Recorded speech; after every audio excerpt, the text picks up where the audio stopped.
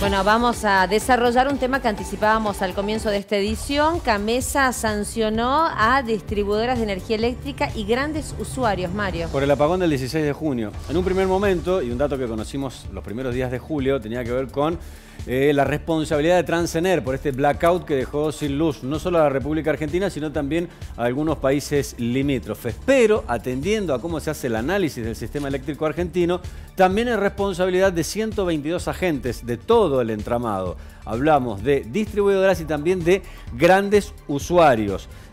Todos ellos tienen que ver con el blackout, insistimos, del 16 de junio que dejó sin luz a la Argentina. Son partícipes indispensables para que el colapso adquiera escala nacional, entienden desde Camesa, que es la compañía administradora del mercado mayorista eléctrico, que aplica esta multa. Ahora, lo llamativo de esto es que tiene que ver con eh, multas que se desde el año 1992. El gobierno detectó esto y el costo de la sanción se aplica con los números de aquella época. En 1992 se estableció que se aplica una sanción de 1.500 pesos por cada megavatio hora. Ahora bien, eso se modificó en el 2003 y se cambió esa relación de peso-dólar, porque en aquel momento 1.500 pesos eran 1.500 dólares.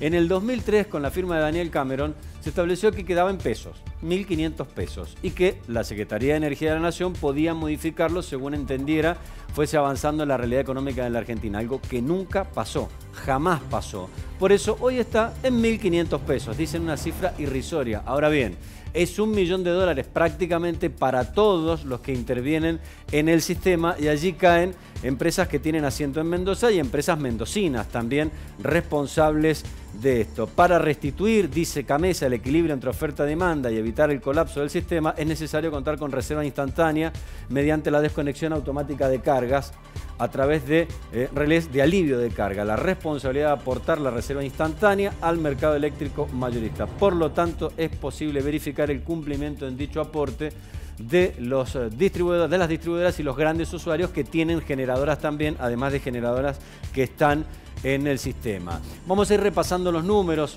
Son alrededor de 25 las más importantes de las sanciones, pero nosotros rescatamos los cinco primeros. Por ejemplo, la que recibió la multa mayor es EPEC de Córdoba, la empresa provincial de energía de Córdoba recibió una multa de 11 millones y medio de pesos. En el segundo lugar de este ranking de multados está la DPE de Corrientes, la distribuidora de Corrientes con 3 millones 100 mil, casi 3 millones 200.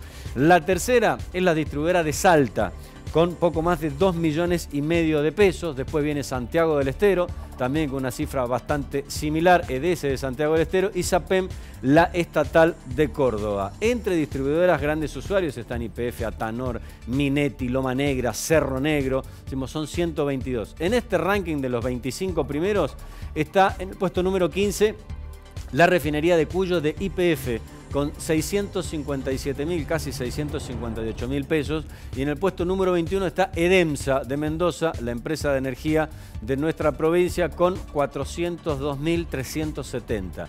Si sumamos las sanciones que se le aplicaron a Minetti, estamos hablando de más de 700 mil pesos, casi un millón de pesos, pero se reparte en diferentes sedes de operaciones. La malagueña o la de Capdeville, que son las multadas con números mayores, superan los 300 mil pesos y en total Minetti está llegando a los más de 700 mil.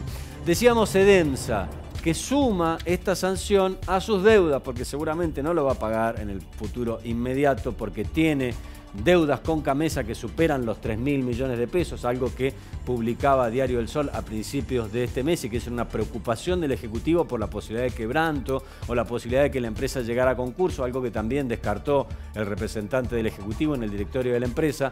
No es una situación que puede llevar al colapso a la empresa, pero sí se mira con preocupación porque son 3 mil millones de pesos. En el hipotético caso de que el Estado mendocino tenga que hacerse cargo de esto, incluso hasta puede intervenir Fiscalía de Estado.